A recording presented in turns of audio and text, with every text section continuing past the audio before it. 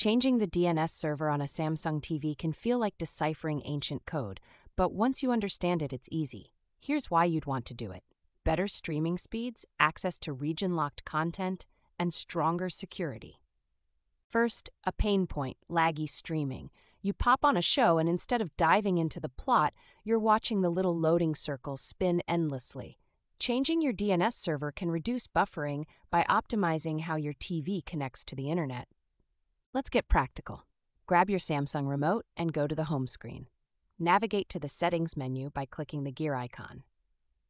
If you're like me, it's oddly satisfying once you find it.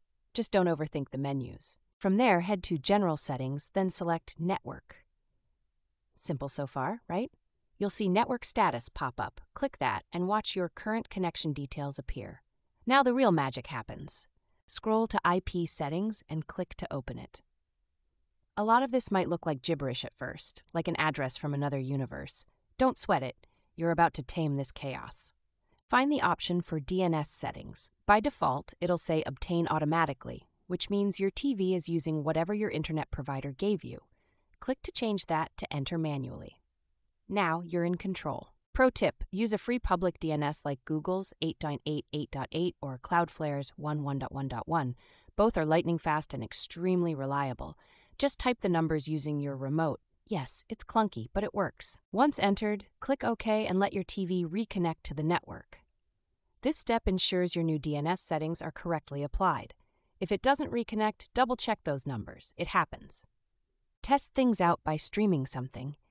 If you did it right, you should notice snappier loading times or, at the very least, consistent playback. For me, this trick is like upgrading your TV without spending a dime. Why does this work? A better DNS server means faster domain name resolution. It's like upgrading from a slow, outdated GPS to a modern, zippy one that gets you there without unnecessary detours. One last tip if you're trying to access region restricted content, say unblocking a show in another country, pair this with a VPN on your router. Problem solved. But for most people, just switching DNS works wonders. That's it. Pain point solved, better streaming achieved, and you feel like a tech wizard. If you're in Portland, DM me if you have questions. The internet gods would want it this way.